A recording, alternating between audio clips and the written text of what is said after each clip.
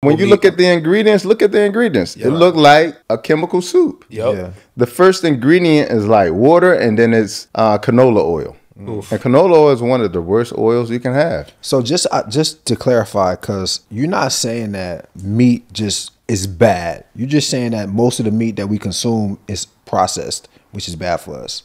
So like if I, because I'm from Nigeria, right? Gotcha. And we've I've seen my family like kill a cow right in front of me, or kill a goat or chicken right in front of me, take it upstairs, pick it, boil it, and we eat that. Right. Right. So in situations like that, what's your appro- what's your um, outlook on that type Yeah. of thing? So uh, I want you to think about it. You ha- have you been back to Nigeria? Mm-hmm. Okay, so when you know you go to Nigeria, they got the same health issues we got right here. There's no different.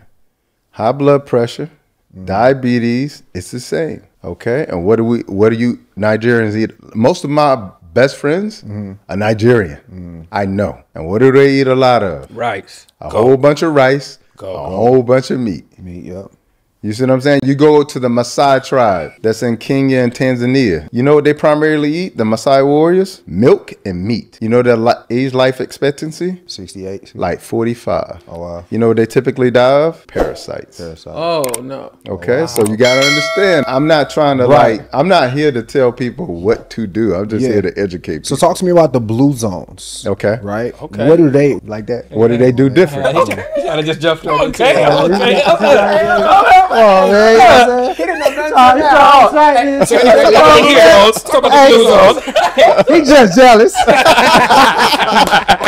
nah, but uh, talking about the blue zone, like what? What the people on? Is, is it a specific part of Asia? Is it J- Japan? How? Do, I don't, I'm not sure exactly Yeah, what the so area is, but there's five blue zones around the world. You have Costa Rica, you have Sardinia and Italy. Okay, you have one in Greece, Icaria. You also have another one in Japan, and then the last one is Loma Linda, California. I know that's a throws Loma everybody is- off. Yep. Loma Linda or Yorba Linda? no. Loma Loma. Linda. Loma Linda. Oh man, that's that's my my, my, my heart Yeah. hospital. That's a good Loma heart Linda like, it's institute. not, not like ranch farmland. A lot of No, the reason why is because a huge number of seven day Adventists live there, and seven day Adventists are known to be plant based. Are you aware of that? I, I, game. Yeah. Okay. So most seven day Adventists don't eat meat. I'm sorry. What is a seven day Adventist? It's just a denomination of Christianity. Okay. Yeah. So that's why they're one of the blue zones. I got you. And the blue zones share a lot of different characteristics. I lived in Okinawa, Japan, one of those blue zones for four and a half years. Wow. And got to see these people in the village. And Okinawa, Japan for decades was the number one blue zone in terms of having the largest number of centenarians, people who live to 100. I know Okay? our audience is listening and wondering what the hell a blue zone is, because I know I am. Yeah. I'm picking up what you're putting down. Yeah. What's a blue zone? It's just simply a region or area, the five that I just named, that people live to 100. They have the largest number of centenarians, people who live to 100. They primarily eat plant based, and they have they share other different philosophies as well too, like Community, movement. community, movement, certain eating mm-hmm. practices. Without being connected or knowing, you know, mm-hmm. knowing each other, they just share these characteristics. Mm-hmm. So Okinawa, Japan was one of those. So that's why I chose to move there. And as I'm living there for four and a half years, going to this village and being able to see how they live on a daily basis, what they eat, seeing people who are 97, 102, climb trees, walk up hills, garden, etc. It's beautiful. What I noticed was their lifestyle was just like my great grandmother who lived to 105, okay? As opposed to my grandmother who lived to 67 and died at 67, okay? My great grandmother, they had an outhouse. You had to go outside to use the bathroom. No electricity, okay? No electricity means what? No refrigerator. Everything fresh. Everything fresh out of the backyard, the side yard, the front yard. Farm table. When we got sick or something like that, guess what they did? Went to the backyard, the side yard, the front yard, gave you a remedy. So my great grandmother lived just like the people in Okinawa, Japan. You see what I'm saying? Yeah. Barely ate any meat because you can't chop a chicken up every day. And even if you did, where you gonna put the rest of it? There's no refrigerator. You see what I'm saying? So primarily Monday through Saturday, my great grandmother ate mostly plants. She was plant based. On Sunday, that was the day she probably ate meat when the pastor came over from church and they had a big feast. And that was the lifestyle of most people because back in the day, you had to go to a butcher to get meat. You didn't go to like a, there was no supermarkets. You see what I'm saying? Meat was expensive. It was the most expensive thing that you could buy. And so living in this blue zone for four and a half years, it just showed me like, okay, that's what I miss. I was supposed to be living like my great grandmother, okay, but I was living the lifestyle of my grandmother, which is why I got diagnosed with high blood pressure at the age of 16. And so, you know, that is what the blue zone is about. You said we're all different. Yeah. But is there a certain way, even though we're all different, is there a certain way that our people should be eating? You know what I mean? Is there a specific diet? And I know, again, everyone is different. Everyone's body, digestive system, all that stuff is different. Yeah. But generally speaking, is there a,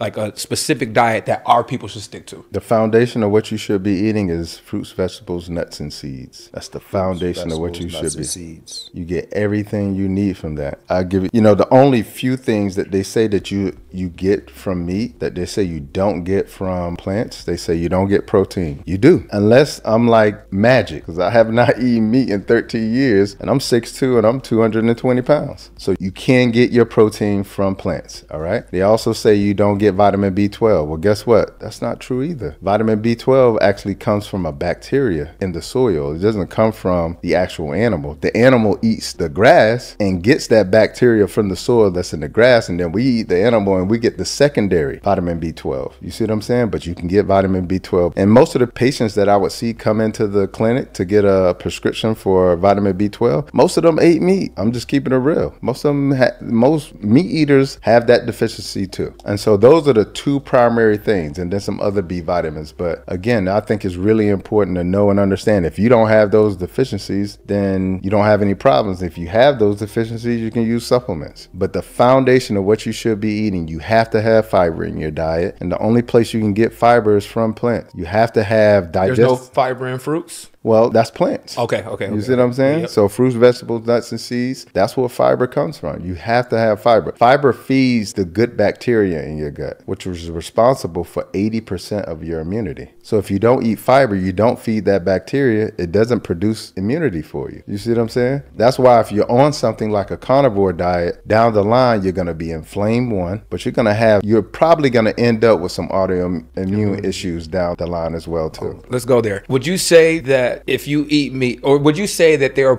injecting hormones into the meat? Nah, I don't have to say it, it just is. It's, it is what it Yeah, is. yeah. So you know, I don't gotta say and, shit. it, and no, what I'm just saying, like, it just look like it, dog. just think about how big these animals are. Now. Yep. You know, like I remember being a kid having my first buffalo wing. It was like this. Yep. Now they're like this. Yep.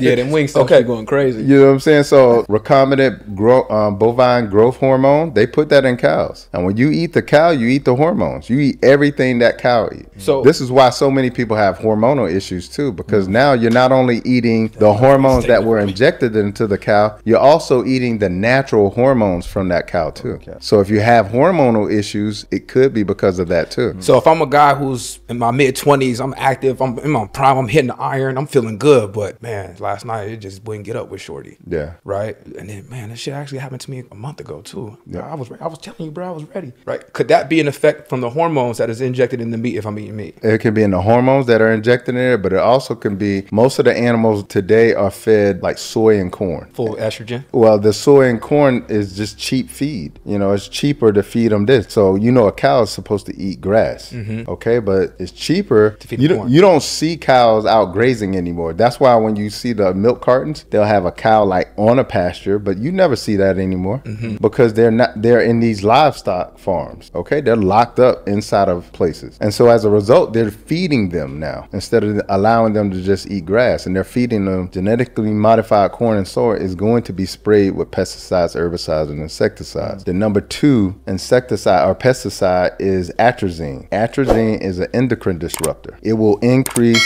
estrogen in the body. Mm-hmm. Okay. For women, estrogen dominance looks like endometriosis and breast cancer. For men, it looks like man boobs.